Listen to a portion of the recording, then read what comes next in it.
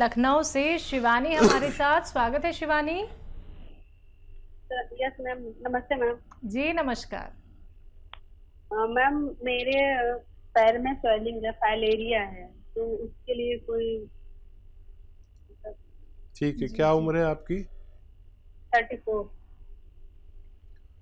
अच्छा बच्चा देखो है तो बड़ा मुश्किल नुस्खा अगर आप समझ जाएँ तो और ख़तरनाक भी बहुत है। और समझना बहुत ज़रूरी है जब तक आप समझे नहीं उसका यूज़ नहीं कर सकते आप। समझ लिया आपने मेरी बात? आप है लाइन पर? देखिए बच्चा आ, एक आता है धतूरा सफ़ेद। ये जहर है एक बड़ा ख़तरनाक पॉइज़न है। धतूरा सफ़ेद। ज़रा सा ले लीजिए, दस बीस ग्राम ख़रीद लीजिए, पचास ग्राम ख़रीद लीजिए। और इसके समझ लीजिए खूब आंवला ले लीजिए अपनी ज़रूरत के हिसाब से, इसका पाउडर बना लीजिए। और एक चम्मच आंवला और दो पीस इसके धतूरा सफ़ेद के चबाएँ और एक चम्मच आंवला खाएँ। और धतूरा सफ़ेद ही लेना, काला मत ले लेना, वो और भी ज़्यादा ख़तरनाक है। समझे नहीं तो कोई भी ये नुस्खा को इस्तेमाल करने की कोशिश ना करे। इंतहाई ख़तरनाक जहर है ये।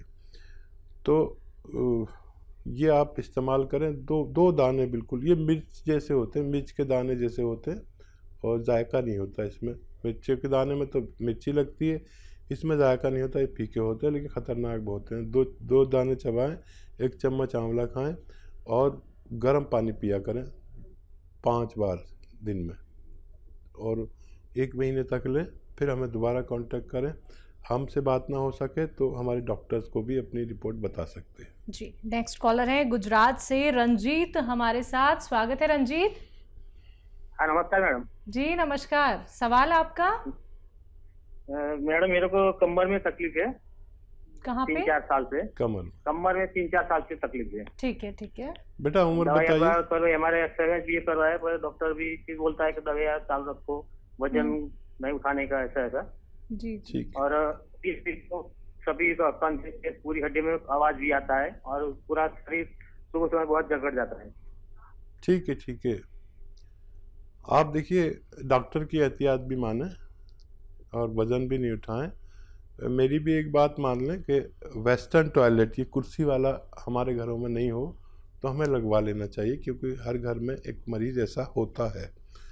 और बस यही एहतियात है।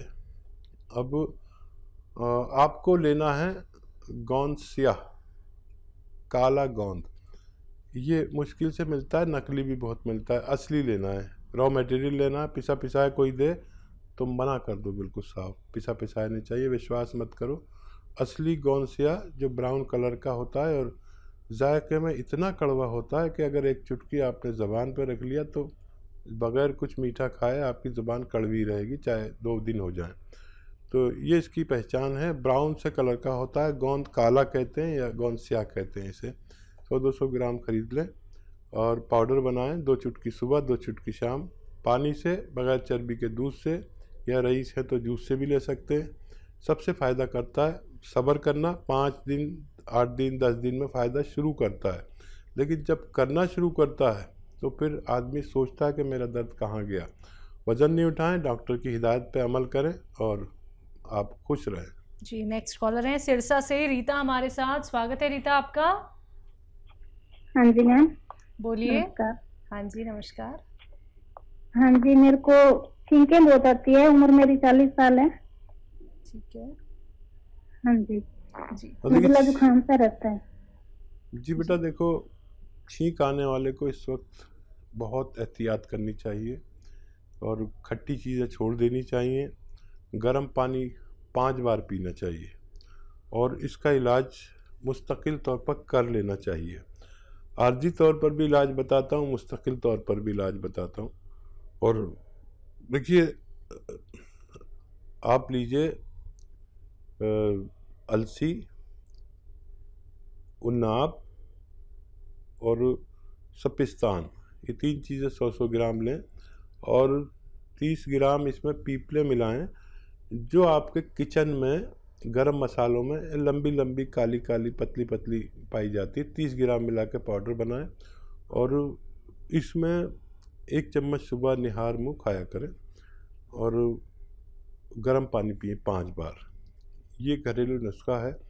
वैसे इस वक्त हर शख्स को चाहे वो रोगी हो या निरोगी हो, उसको एक दवा के बारे में बोलता हूँ क्योंकि ये इम्यूनिटी की दवा है। जिसमें भी इम्यूनिटी है या नहीं है, उसको एक खुराक ज़रूर खानी चाहिए ताकि हम जो इस वक्त माहौल चल रहा है पूरी भारत का ही नहीं बल्कि पूरी दुनिया का एक सा वायरस का माहौल है। ये इम्यूनिटी की दवा है, एक रोटी कम खाएँ अगर हालात नहीं हैं, लेकिन एक खुराक ज़रूर खाएँ, माजून आर केयर, और जो लोग अच्छे हालात के हैं, वो सुबह शाम भी ले सकते हैं। ये अंदर का सैनिटाइज़र है इम्यूनिटी बूस्टर है।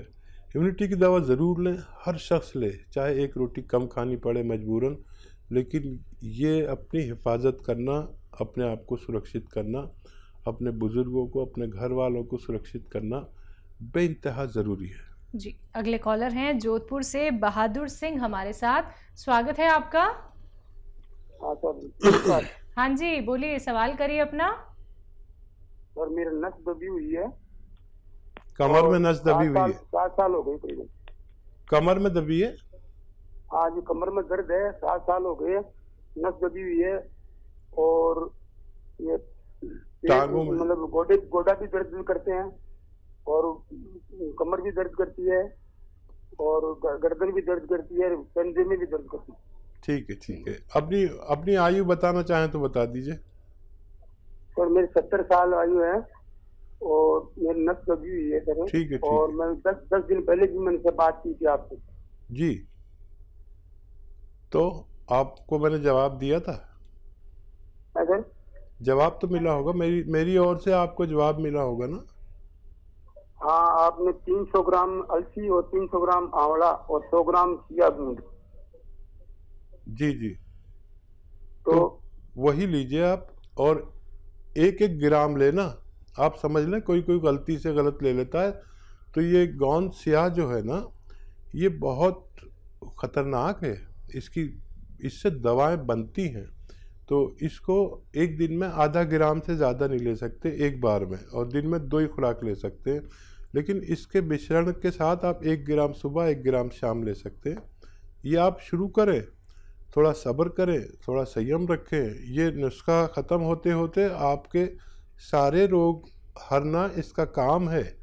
भगवान से मदद मांगें और ज़मीन में ना बैठें, वेस्टर्न टॉयलेट का प्रयोग करें, उपयोग करें। तो निरोग हो सकते हैं। तो बिल्कुल देखिए, अभी थोड़ी सी जल्दबाजी आपने दिखा दी है। अभी दस दिन पहले ही आपकी बात हुई है, आपने नुस्खे जाने थे और फिर से आपने कॉल किया तो थोड़ा सा आप सब्र रखिए, संयम रखिए, क्योंकि धीरे धीरे करके ही दर्द को रिलीफ मिलता है। एकदम से बिल्कुल फ़ायदा नहीं मिलेगा, ये कोई पेन किलर नहीं है कि आपको कुछ ही घंटों में फ़ायदा हो जाएगा। आप लोग अगर बहुत ज़्यादा थोड़ा सा या फिर एक महीने का इंतज़ार कर सकते हैं तो आप हमारे उपचार अपना लीजिएगा, ये आपकी इच्छा है।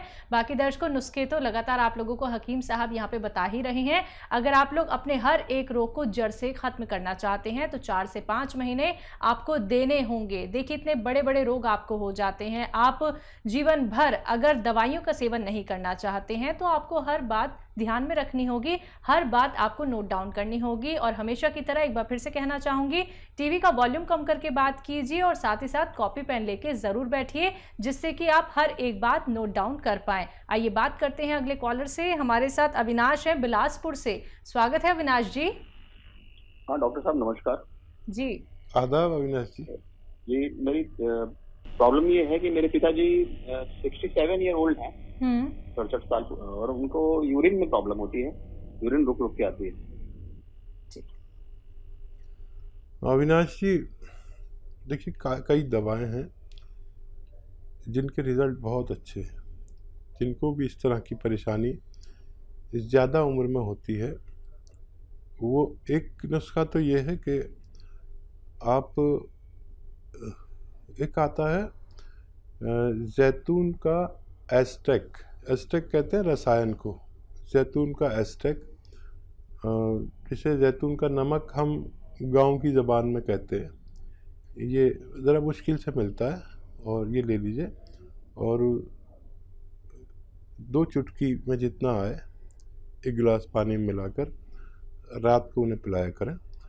और ज़रूरत पड़े तो दिन में भी दे सकते हैं, एक खुराक और दे सकते हैं, एक ही खुराक से शुरू करें। आप देखेंगे कि एक दो दिन में ही फ़ायदा शुरू होगा।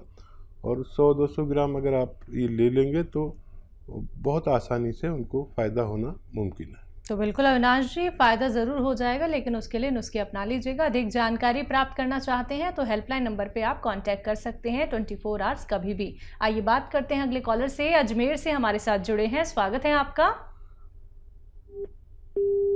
लगता है आपसे हमारा संपर्क टूट गया है, कोई बात नहीं, परेशान बिल्कुल नहीं होना है। हम जानते हैं कि आप लोग परेशान हो जाते हैं कि हकीम साहब से आपकी लाइव बात नहीं हो पाई है या फिर आपकी कॉल कट हो गई है। तो दर्शकों, प्रयास कीजिए। अगर क्या पता आपकी कॉल लग जाए या फिर आप लोग हेल्पलाइन नंबर पर भी कॉन्टैक्ट कर सकते हैं, जहाँ पर हमारे एक्सपर्ट डॉक्टर्स की एक पूरी टीम बैठी हुई है, जो बहुत इतमान से आपकी बातें सुनती है। आप लोग सारी बातें उनसे बहुत आराम से कर सकते हैं।